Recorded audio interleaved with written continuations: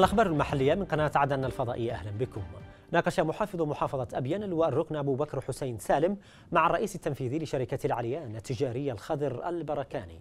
ناقش الصعوبات التي تواجه الشركة خصوصا فيما يتعلق بتأخير سداد مستحقات الشركة العامة في مدينة جعار 10 ميجا منذ عام 2018 وكذا تجديد عقد الشركة ما بعد شهر يونيو من العام الجاري.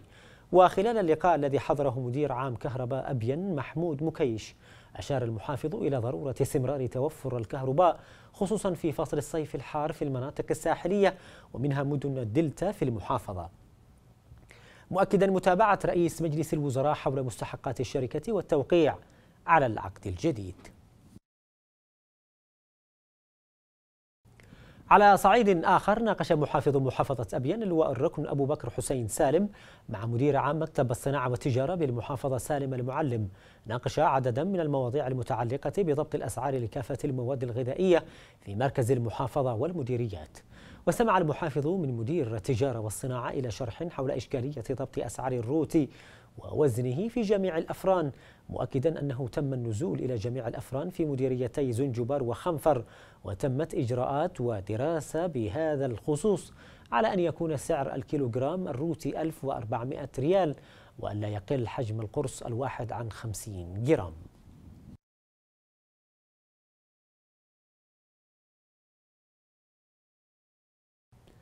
ناقش محافظ محافظة أبين اللواء الركن أبو بكر حسين سالم مع مدير المعهد الصحي بجعار نبيل العتد.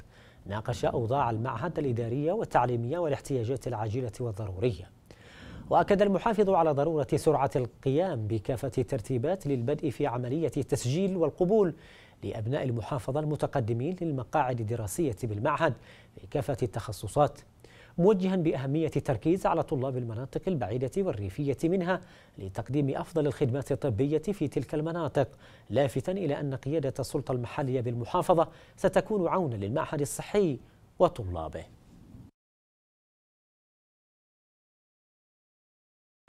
ناقش نائب وزير التربية والتعليم الدكتور علي العباب مع كتلة التعليم بمحافظة مأرب خطة تنفيذ حملة العودة إلى المدرسة والاحتياجات الكبيرة لإيجاد بيئة تعليمية وتعزيز قدرات المؤسسات التعليمية. وقدم العباب شرحا عن التحديات التي تواجه قطاع التعليم في محافظة مأرب التي تستوعب أكثر من 62% من النازحين في ظل قدرات محدودة للقطاع التعليمي. واستيعاب الأعداد الكبيرة من الطلاب مع تزايد التسرب للطلاب والمعلمين. جراء تردي الأوضاع المعيشية والتدهور الاقتصادي وتراجع تدخلات منظمات المجتمع المدني الإنسانية.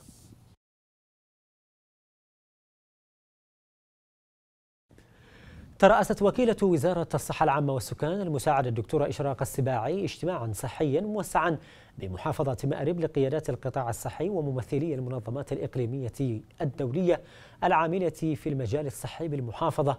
وأكدت الوكيل السباعي أهمية الشراكة القائمة بين وزارة الصحة ومكاتبها في المحافظات وبين المنظمات المحلية والإقليمية والدولية العاملة في القطاع الصحي في بلادنا. وضرورة تعزيز هذه الشراكة وتوسيعها لتشمل مجالات صحية أكثر. ودعت المنظمات الشريكة للقطاع الصحي إلى سرعة الاستجابة الطارئة لتلبية الاحتياجات الصحية المتزايدة للنازحين في محافظة مأرب وتوزيع خارطة التدخلات والمشاريع الصحية خلال الفترة القادمة.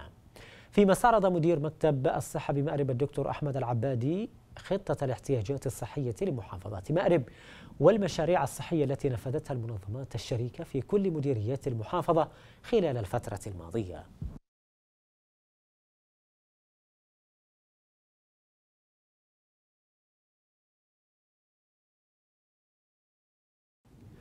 اختتمت بالعاصمة المؤقتة عدن الدورة الأولى من البرنامج التدريبي الإحصاء القضائي. والتي نظمتها وزارة العدل بالتعاون مع وزارة الشؤون الاجتماعية والعمل بدعم من برنامج الأمم المتحدة الإنمائي. وأكد وكيل وزارة العمل لشؤون التخطيط والبنى التحتية علي مديد أهمية الورشة التي تأتي في إطار تنفيذ الخطة الوطنية لأجندة المرأة والأمن والسلام. وحث المشاركين على الاستفادة من مخرجات الورشة وتطبيقها على أرض الواقع لأهميتها وهدفت الدورة إلى إكساب 13 مشاركا من موظفي ديوان الوزارة والمحاكم. عدد من المعارف النظرية والتطبيقية المتصلة بأساسيات النظام الإحصائي القضائي وطرق تصنيف البيانات الإحصائية القضائية وذلك لتسهيل قياس وصول المواطنين للعدالة.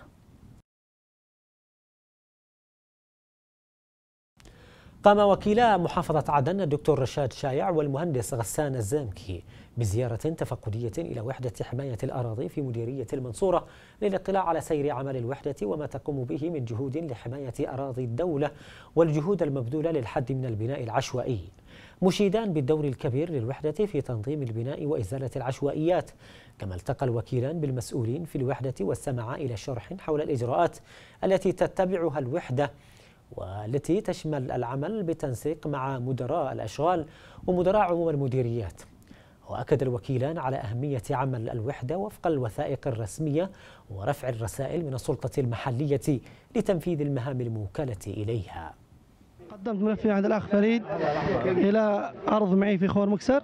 اجراءاتي خذوا الاجراءات التامة من عند مجلس المحلي حق خور مكسر. فجينا حطاني الروتيني اجراءات طبيعية تروح ثاني يوم تستلم الكرت توديه لصاحب الخرسانة. اللي تحب أنت الشخص اللي يجيب لك الخرسانة بدون أي ضغوطات عليك أو استفزاز من أي طرف إن كان من الدولة ولا من صاحب الخرسانة. تعطيه الكرت يتصل بك يقول لك خلاص وقت ما أنت جاهز سقفك حديدك على طول. تجي نجيب لك خرسانه والحالمي يعطيك رقم إذا حدا يستفزك أو حدا يتعدى عليك تتصل به ينزل لك طقم بحق الله أنا نزل لي طقم لما هناك في ناس جو مشان آه، إنهم موجودين في في الحي إنهم يشتعوا له. والله اتصلت بالطقم اجا ورزمهم وترحهم قال لي أي شخص يجيك يوقفك في عملك رسمي تدعي عندنا أمورك على طول. أشكر كل من قام بوقف العبث بالأراضي في مدينة عدن آه، الحالمي أو الأملس أو كل مسؤول قام بهذا العمل بحيث انه كان قضى على المتنفسات وكل الأراضي وكان جاب مشاكل كبيرة بين المواطنين. وهذا عمل يحسب لهم بعد الحرب. يعني نقول الحمد لله على هذه النعمة وعلى هذا النظام الذي آه، قضى على هذه الفتنة في آه، منطقة عدن. بحث وكيل محافظة حضرموت المساعد لشؤون مديرية الوادي والصحراء المهندس هشام السعيدي مع فريق من منظمة الدو من المنظمة الدولية للهجرة برئاسة مدير مكتب المنظمة في عدن مهند الربيعي. التدخلات التي ستقوم بها المنظمة في قطاعات أو في قطاعي المياه والزراعة. وأكد السعيدي أهمية المشاريع التي تقدمها المنظمة مبديا استعداد السلطة المحلية لتقديم كافة التسهيلات اللازمة لتدخلات المنظمة وبما يؤمن تنفيذها بشكل فاعل وتحقيق الأهداف المرجوة منها. من جانبهم ثمن فريق منظمة الهجرة الدولية التسهيلات التي تقدمها السلطة المحلية لتمكين القائمين على مشاريع المنظمة من تنفيذ المشاريع بحسب الدراسات المعدة لها.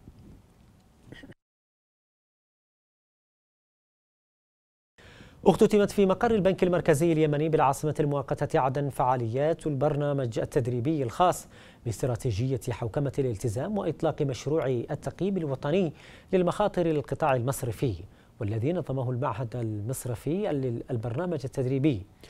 وفي الختام استعرض عميد المعهد المصرفي الدكتور حسين المحضار أهمية الحاكمية واستراتيجية إدارة المخاطر والالتزام التي تساعد على وضع إرشادات وسياسات على خلق بيئة سليمة للعمل وتحقيق أفضل أداء.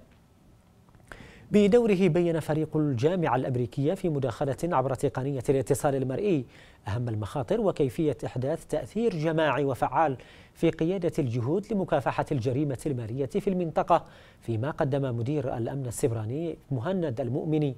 شرحا لأهمية حوكمة الأمن السبراني في القطاع المصرفي لحماية الأنظمة والشبكات ضد الهجمات الرقمية مؤكدا ضرورة الاهتمام ببرامج التوعية للموظفين وطرق الاستجابة.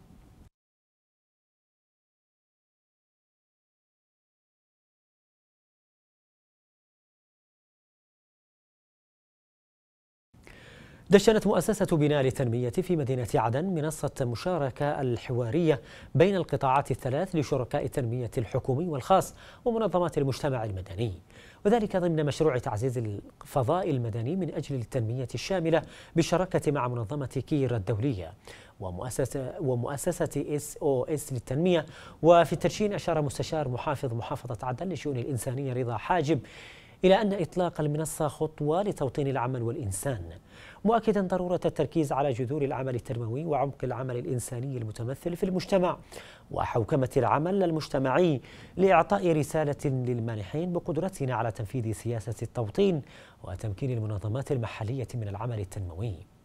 من جانبه دعا مدير عام مكتب, الشؤون الاجتماعية والعمل بمحافظة عدن الدكتور محمد حمود للتوجه نحو التنمية من خلال تكاتف القطاعات الثلاثة بما يعود بالخير على الناس. شاكرا مؤسسة بناء للتنمية وكل من ساهم في إنجاح إطلاق المنصة.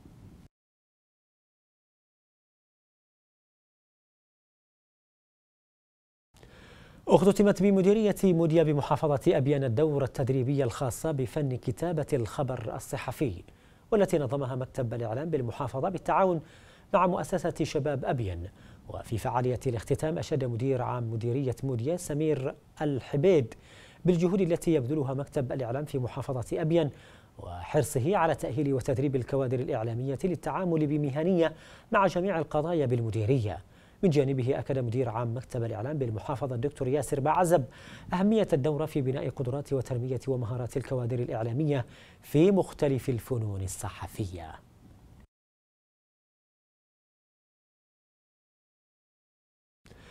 ضمن مشروع صحتنا أولا اختتمت أو اختتمت في مدينة تعز دورة خاصة للقابلات حول الطوارئ التوليدية بمشاركة 15 متدربة من ثلاث مديريات. التفاصيل في التقرير الذي عدته الزميلة نعائم خالد. اختتمت في محافظة تعز الدورة التدريبية الأساسية في الطوارئ التوليدية للقابلات في محافظة تعز. ضمن مشروع صحتنا أولا والتي تقام برعاية وزير الصحة العامة والسكان الدكتور قاسم محمد بحيبح.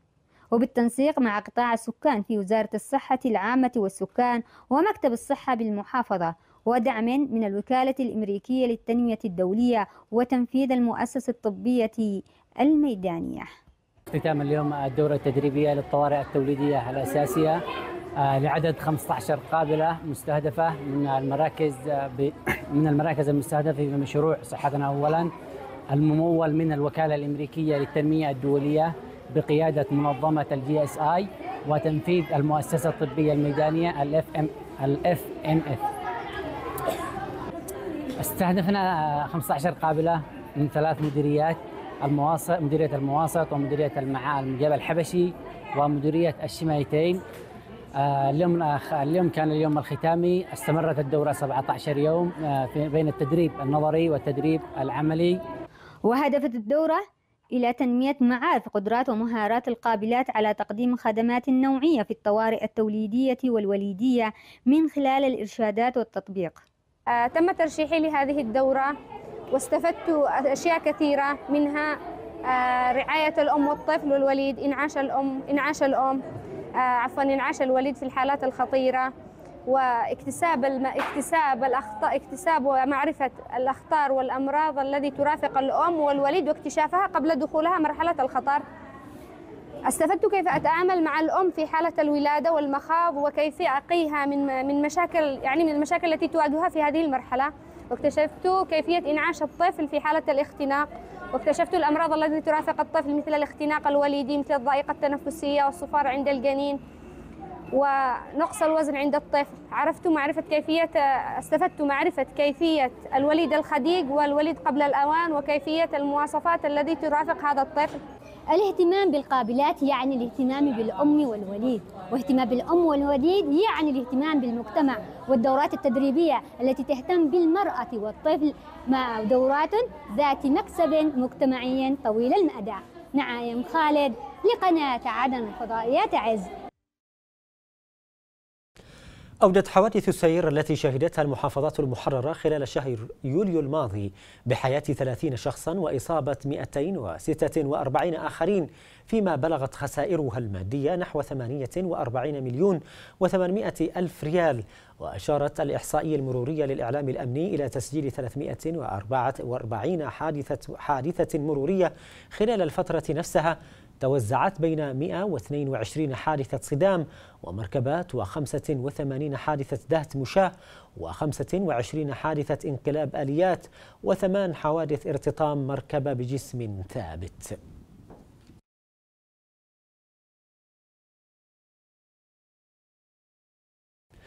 رياضيا تعادل فريق الشروق من بني بكر وشباب حمحمة من وادي ذي ناخب بهدف لهدف في المباراة الافتتاحية لبطولة شهداء يافع كلد للفرق الشعبية بنسختها الأولى بمحافظة أبين. وجاءت مباراة الافتتاح مليئة بالإثارة والتشويق بين طرفي الحدث اللذين تقاسم الأداء والنتيجة مناصفة خلال أشواط اللقاء والتي انتهت بتعادل الفريقين بهدف لمثله.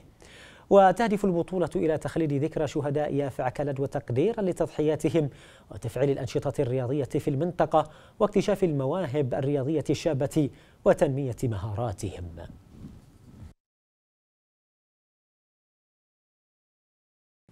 بهذا نكون قد وصلنا إلى نهاية الأخبار المحلية. قدمناها لكم من قناة عدن الفضائية. أزكى تحية من طاقم العمل. نلقاكم في النشرات القادمة. أنتم ونحن في رعاية الله.